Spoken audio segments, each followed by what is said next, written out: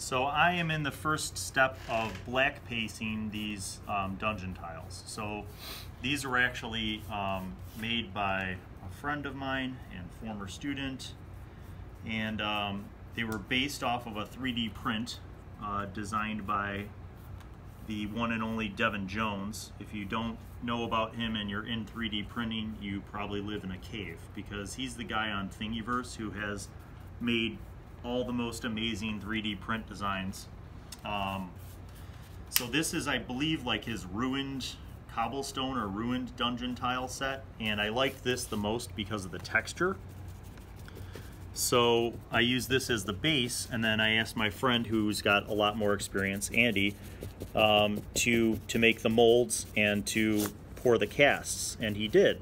Um, and it was kind of like a birthday slash Christmas present for me. So I have all these tiles now, three by threes and two by twos, and um, I have had them for a long time and I just haven't had time to base them, partially because my normal crafting space is currently under construction. So, so I'm just basically going through here and trying to black base these. Now, I guess spray paint would work well too, but it's kind of not the right weather and I don't really have the right space that's ventilated to do that. Um, so I'm just kind of manually going through. And this is going to take forever. And it's probably going to take a lot of paint. But this black base coat should be pretty thorough and, and I want it to fill in all the cracks. So I'm trying not to be skimpy on this. So the problem with watering things down is it waters down the, the black coat. It, it spreads my paint out a little more so I get a little more mileage out of my paint, but it also waters it down, which means it's not gonna be a true black. So what I'm trying to do is just get the complete coverage that I can without sacrificing too much black, but I'm probably gonna have to wait until all this stuff dries and then go back over it again for a second kind of touch up black coat before I move into the grays. Um, you don't always have to do that, but I've found that if you don't, you'll end up regretting it down the line. And I, what I want is for these dungeon tiles, hopefully to be playable um, at GaryCon. So they're a lot lighter weight than um, most of the plaster stuff, like Hirst Arts pours, but they're also a lot more durable. Um, I don't know Andy's exact formula, but basically I showed him some Dwarvenite and he formulated his own kind of um, setup for these tiles that uses um, a couple different kinds of components. So it's not just plaster. Like these are basically the same composition. I could pick it up and drop it on the ground from a height of six feet and it won't shatter. So they should be the kind of thing where I could just throw them in a bag or a box and take them to GaryCon and use them that's kind of what I'm hoping for. But I'm thinking I'm going to have to make a run to Walmart and pick up a couple more tubes of paint because this is, these are just soaking up the paint. Like, to get into all the cracks and crevices is just getting, um, just eating up the paint. So I'm trying my best to get complete coverage here without sacrificing too much quality, but I could see that this is going to be a challenge. So all right, well, we ran out of black paint, which wasn't a big surprise, even though I found another little tube. We had a lot of tiles to do. So we're running to Walmart, get some more tape. Paint. Damn it, take two. Well, we ran out of black paint, which wasn't really a surprise because I didn't have a lot to begin with, and there are a lot of tiles. So we're running to Walmart to get some more cheap paint. Meanwhile, I mentioned some eyewitness reports consistent with chlorine gas. Significant eyes on Eastern Just, That's right. You. Whoop whoop. Sir, do you know you were going 45 and a 35? Yes. You know that's going over the speed limit? Yep, I knew. And uh, you know what the fine for that is? No, there will be no fine. Come again? Um, maybe you didn't notice my license plate, but I'm Bill Allan. radon and mold testing. Uh, I got both of those in my basement.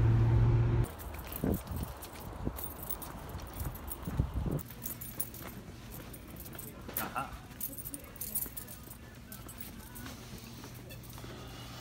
All right, I need, no, that's gloss. It's glossy. Just regular old black. Disappointed. Guess I'm gonna get four of those. Jet black.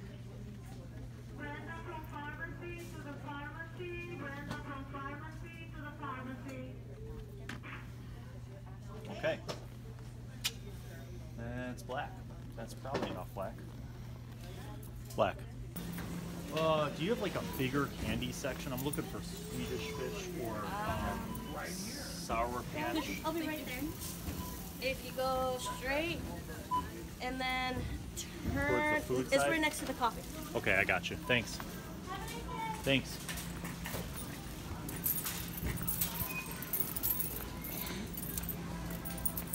What did they say they wanted? Sour Patch? Kids. Hey. Hey. Look at that. Find more.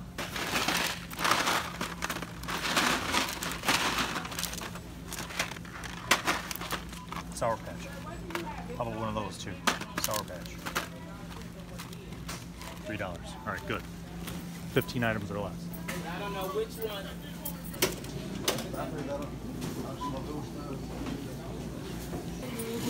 Have a good day. All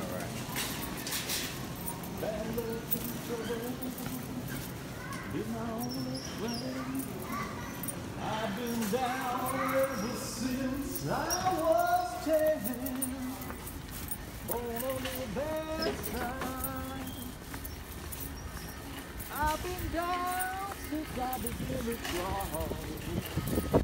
Yep, got the paint and I got the candy to bribe the kids to put the black base coat on the tiles. And now it's time for a burrito. I'm hungry. Let's get a burrito.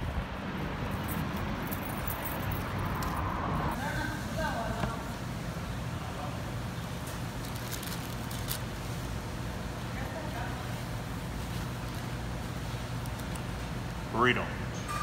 You got Neil Smith on the bass, Joey Napolitano on the organ, and Frank Bones Rizzo on the drums. With the lead part taken by clarinetist Jacob Schmithheimer. That's the Jacob Schmithheimer Quartet 1957 recording at the Crimson Ballroom in New York City. You're listening to the Jazz Man on WDCB, Glen Ellyn. Wow.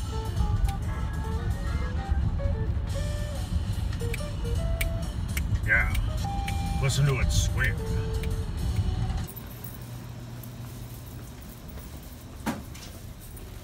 How's the painting coming along? Good. Uh, eight to go. Yes, that is what I'm talking about. Hi, Dave. You know who deserves candy? This guy. Oh, Dad, you should have. Do I get a box? Did you paint? Have you done any painting, Paul? I set up No. this whole show. Did you paint? I think Nobody that did no, paint. What did you paint? Did you paint? All the paint. Of all the black that's on this table, which of it is yours? I'll paint the last six. There's like Although I will say, Kev, those need some. really that's what I keep telling you. Yeah, I'm just Oh, saying. that one right there. Yeah. Those I was working on All it, the good ones, eating. Neil and I did. All the good ones are missing the side bits. All right, so I'm going to say that this last box can be shared between people who paint. So Neely deserves her own box. Neely does. So Carl, you're going to have to share your box with Albert. I didn't do anything. No, I Yeah, didn't Albert do didn't do anything. With Nice job. Albert. I'm Nice just job. painting the last Neely gets I'll her take, box. I'll take Yes. like two or three. Yeah, I'll give Albert like Thank two or you three. so Uh-huh. much. Bill, you're too good to us. I get my own box just because I asked for it. Well, it's looking good. Now, only two more coats. well, Depends on. See, li- I'm seeing a lot of spots. Oh.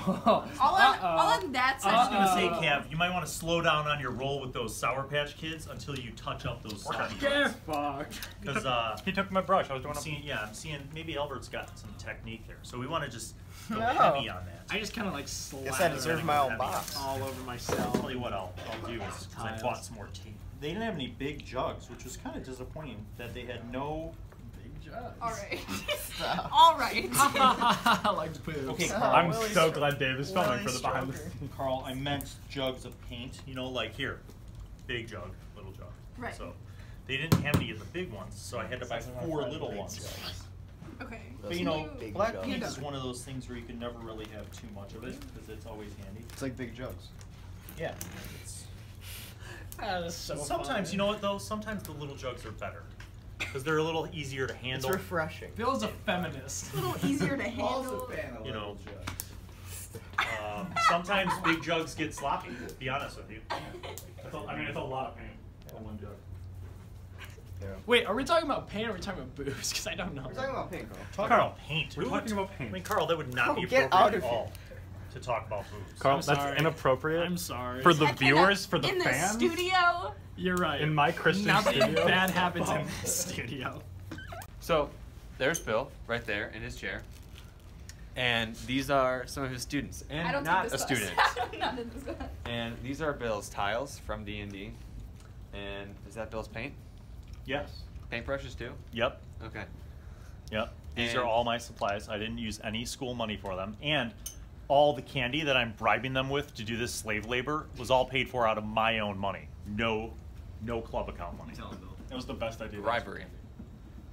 He also hits us. You know, the way I look at it, Sean, I, I, I like to think of it as reinvesting in the show. See, these are the students learning about terrain crafting, which is, you know, uh, a growing subculture within the gaming community. Right. So they get to learn about um, terrain crafting firsthand. You said and if we by did this, applying, we wouldn't get beat. well, that that too, but Papa, you you know, but then they learn about you know the, the oh, finer arts, literally the fine arts of painting. Bill, is that a whip in your hand right there? Bill, no. When's Heather coming back? Bill, what'd No. you do with Heather? Thursday. I don't think Oh, it's. I think it's no coincidence that Heather's not here because she probably just didn't want to get recruited into painting the base coat for all these tiles. Heather's coming back for us one day. Maybe. She's gonna get all of us out of this. What? You get mats. You get mats because Matt did the No, worst Yeah, job. Matt I has- asked for it. No, you have to share some because Yeah. your paint job sucked. Look, These are there's- yours. Those are There's your still there's still pink lines in between there. Get to work. Also, Albert, Get you that did a really good job. Thank you. Like Albert. Ashley. No. Yeah. There's like one here that's my fault. All the ones that you're